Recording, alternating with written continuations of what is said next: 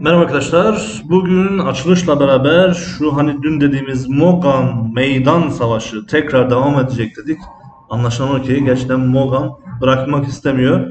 Gerek Artemis gerek Alves kabloda onlar da tavan bozdu ama tekrar tavana gitmeyi bildiler.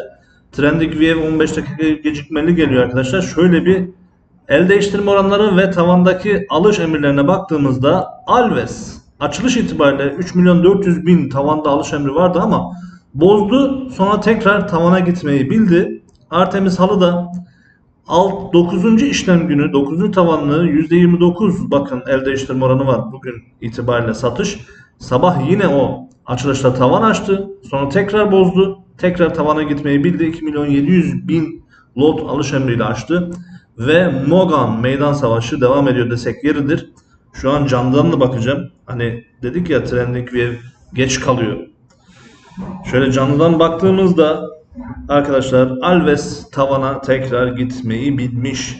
Artemis tekrar tavan ve Mogan halı da Mogan Enerji de çok pardon. Mogan Enerji de artı 7'lerde şu an arkadaşlar. Güzel performans.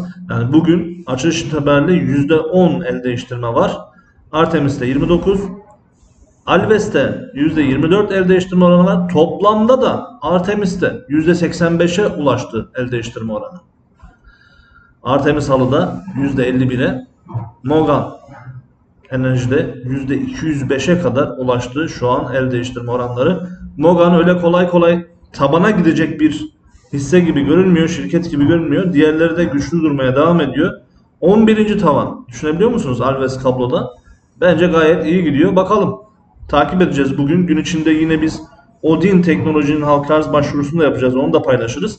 Ama anlaşılan o ki kolay kolay halka arz sitelerine gelen küçük yatırımcı malını ucuza kaptırmak istemiyor. Anlaşılan o ki Mogan Enerji'de daha yiyecek ekmek var arkadaşlar. Göreceğiz bakalım nasıl olacak.